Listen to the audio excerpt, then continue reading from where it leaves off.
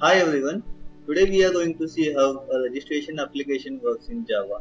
This application follows MVC architecture and uses servlets and JSPs and uh, MySQL database server. You can also use any other database server. Mm, fine. Uh, let us understand what is MVC first. So as the name stands, MVC consists of views, model and controller.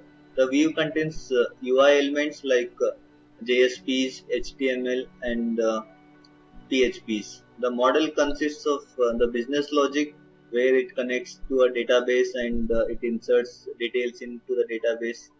And the controller acts as an interface between view and the model.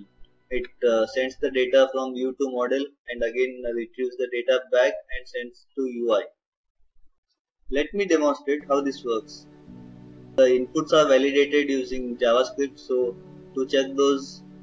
We can check we can see that the full name cannot be blank. So I'm entering one record and uh, we will insert them into a database. So to check the database details we have only three details till now.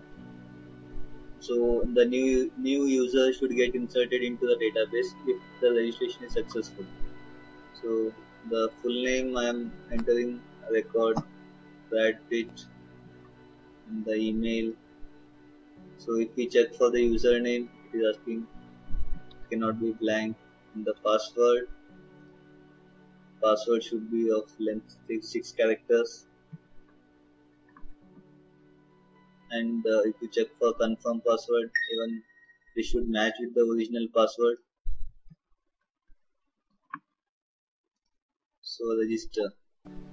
Yeah we got a message. User registration is successful and uh, the control is sent to home page. So we can go back and re-log in again. Let us check if the details are present in the database. Yeah we see that uh, a record named Brad Pitt is inserted. So the registration application is successful. So let us understand the coding part how it is implemented.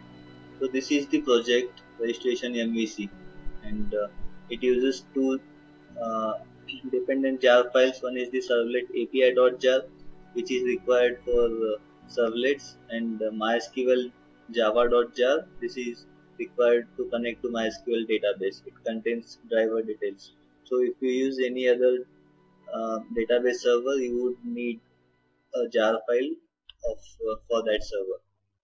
And uh, uh, uh, web.xml, you see this file this is called deployment descriptor. When the project gets loaded uh, this file uh, is looked this file will be looked into because it contains uh, all the configuration details. So let us check. It contains the servlet details and it contains the detail which file should be loaded first. In this case it is register.jsp as uh, it contains the form so the register.jsp we will go to this and uh, uh, we have form here. The form consists of full name email username password. So once we submit these details the request will be sent to register servlet. This is the java class which resides in the controller register servlet.java this uh, file gets called and we are using the method post make a note of it. And uh, on submit we are also calling a javascript function. So this is the function. It checks for the blank fields like name email and password and also the password. So let us go for uh, register servlet.java in this we are retrieving all the details from the input. After this register bean class gets called this class contains only set and get methods where user details will be set so that uh, they can be accessed at any point in time later in this project. So next we are calling register DAO class. This class contains the logic where we are inserting details into the database. Inside this we are calling we are invoking register user method. This method again we are retrieving all the details from the register bean and uh, we have to establish a connection with the database. So for this we are going to dbconnection.java. Here we need four details to connect to the database. One is the MySQL server URL and the database name and the username and password.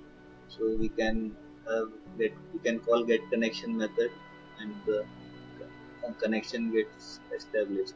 Next we are going back to register dao.java where uh, we are inserting the details into the users table. So the insertion is happening using prepared statements and uh, if the if the insertion is successful then we will it will return a positive integer so in this case we are returning a string named success in case of failure we will return an error message. So this method this return will go back to register servlet. And finally merge them. the user registered string would contain the result. so if it is success the success is returned then we are sending the user to but the home, internet home.jsp page. in case of failure we will send him to register.jsp with the error message. The error message which we are setting here that is being displayed on the register.jsp you can see this message here.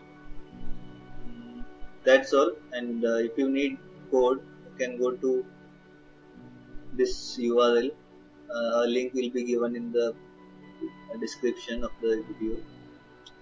So if you have any doubts please contact us. In the next video we will see how the login process works for the user Brad who was registered in this video. Thank you